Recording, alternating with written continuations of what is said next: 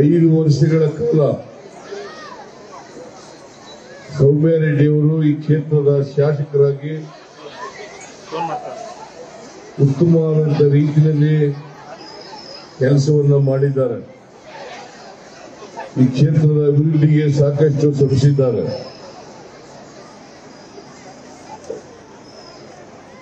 ಅವರು ಕ್ರಿಯಾಶೀಲರಾಗಿ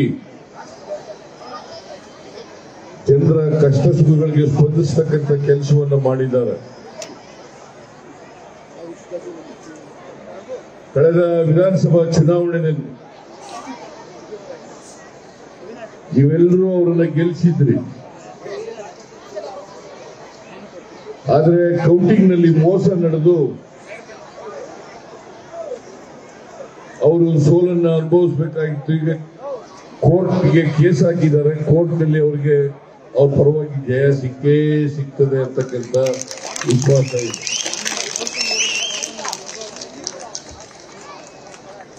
ಈಗ ನಮ್ಮ ಪಕ್ಷದ ಅಭ್ಯರ್ಥಿಯಾಗಿ ಸ್ಪರ್ಧೆ ಮಾಡಿದ್ದಾರೆ.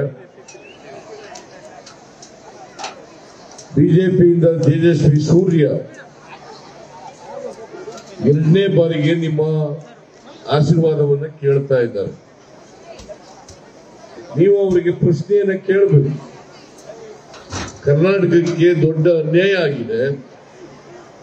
ತೆರಿಗೆ ಹಂಚಿಕೆಯಲ್ಲಿ ಅನ್ಯಾಯ ಆಗಿದೆ. ಹದಿನೈದನೇ ಹಣಕಾಸು ಆಯೋಗದಿಂದ, ಆಯೋಗದಲ್ಲಿ ಶಿಫಾರಸು ಮಾಡಿದಂತ ಶಿಫಾರಸುಗಳನ್ನ ಕೇಂದ್ರ ಸರ್ಕಾರ ಕೊಡದೆ ಅನ್ಯಾಯ ಮಾಡಿದೆ. ಬರಗಾಲದ ಕರ್ನಾಟಕದಲ್ಲಿ ಇವತ್ತು ಬರಗಾಲ ಇದ್ರೂ ಕೂಡ ಬರಗಾಲಕ್ಕೆ ಪರಿಹಾರವನ್ನು ಕೊಟ್ಟಿಲ್ಲ. ಮೇಕೆದಾಟು ಯೋಜನೆಗೆ ಅನುಮತಿಯನ್ನ ಕೊಟ್ಟಿಲ್ಲ. ನೀವು ಐದು ವರ್ಷಗಳಿಂದ ಲೋಕಸಭಾ ಸದಸ್ಯರಾಗಿದ್ದೀರಿ, ಒಂದಿನಾದರೂ ಕೂಡ ಕೇಳಿದ್ದೀರಾ? ಈ ಪ್ರಶ್ನೆಯನ್ನ ನೀವು ಕೇಳಬೇಕು. ಯಾವತ್ತಾರು ಒಂದಿನ ಪ್ರಶ್ನೆ ಕೇಳಿದಾರ? ಮತ್ತೆ ಇವರಿಗೆ ಓಟ್ ಕೇಳ್ತಕ್ಕಂತ ನೈತಿಕತೆ ಹೇಗಿದೆ? ನೈತಿಕತೆ ಇಲ್ಲ ಅವರಿಗೆ. ಕರ್ನಾಟಕಕ್ಕೆ ಅನ್ಯಾಯ ಆಯ್ತಾ ಇದ್ರು ಕೂಡ ಕೇಂದ್ರ ಸರ್ಕಾರದ ತಾಳಕ್ಕೆ ತಕ್ಕಂತೆ ಕುಣಿತಾ ಇರ್ತಕ್ಕಂಥ ತೇಜಸ್ವಿ ಸೂರ್ಯ ನಿಮಗೆ ಮತ ಕೇಳಲಿಕ್ಕೆ ಯಾವುದೇ ನೈತಿಕತೆ ಇಲ್ಲ ಅವರಿಗೆ. ಅದಕ್ಕೋಸ್ಕರ ಜಯನಗರದ ಮತದಾರರಲ್ಲಿ ನಾನು ಮನವಿಯನ್ನು ಮಾಡ್ತೇನೆ.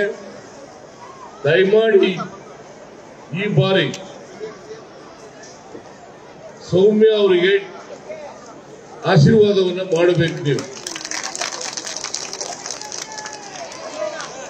ಇವರು ಲೋಕಸಭೆಗೆ ಹೋದ್ರೆ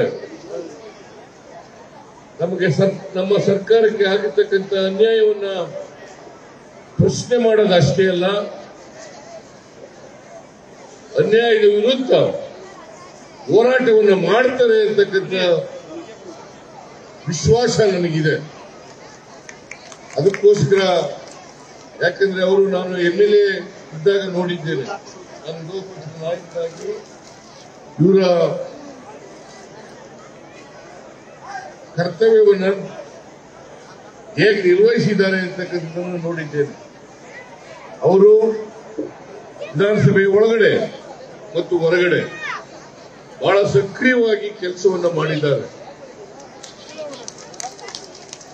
ಜೊತೆಗೆ ರಾಮಲಿಂಗ ರೆಡ್ಡಿ ಈ ಕ್ಷೇತ್ರದ ಎಂ ಎಲ್ ಎ ಆಗದೇ ಇದ್ರು ಕೂಡ ಇಡೀ ಬೆಂಗಳೂರು ನಗರದ ಅಭಿವೃದ್ಧಿ. ರಾಮಲಿಂಗ ರೆಡ್ಡಿ ಅವರು ಬಯಸಿದ್ದಾರೆ ಆ ದಿಕ್ಕಿನಲ್ಲಿ ಕೆಲಸವನ್ನು ಮಾಡ್ತಾ ಇದ್ದಾರೆ ಜಯನಗರದ ಅಭಿವೃದ್ಧಿ ಆಗ್ಬೇಕಾದ್ರೆ ಆಗ್ಬೇಕಾದ್ರೆ ಸೌಮ್ಯ ರೆಡ್ಡಿ ಅವರನ್ನ ಗೆಲ್ಲಿಸಲೇಬೇಕು ಕನ್ನಡಿಗರ ಮೆಚ್ಚಿನ ನಿಮ್ಮ ನ್ಯೂಸ್ ಏಟಿನ್ ಕನ್ನಡ ಈಗ ವಾಟ್ಸ್ಆಪ್ನಲ್ಲಿಯೂ ಲಭ್ಯ. ಕರ್ನಾಟಕ ಮತ್ತು ದೇಶ ವಿದೇಶದ ತ್ರೀ ಸಿಕ್ಸ್ಟಿ ಡಿಗ್ರಿ ಸುದ್ದಿ ವಿವರವನ್ನ ನೀವು ನಿಮ್ಮ ಕೈ ಬೆರಳುಗಳಲ್ಲಿಯೇ ಪಡೆಯೋದಿಕ್ಕೆ ಈ ಕ್ಯೂ ಆರ್ ಕೋಡ್ ಅನ್ನ ಸ್ಕ್ಯಾನ್ ಮಾಡಿ. ನಮ್ಮ ಚಾನೆಲ್ ಅನ್ನ ಫಾಲೋ ಮಾಡಿ ನೋಟಿಫಿಕೇಶನ್ ಆನ್ ಮಾಡಿ.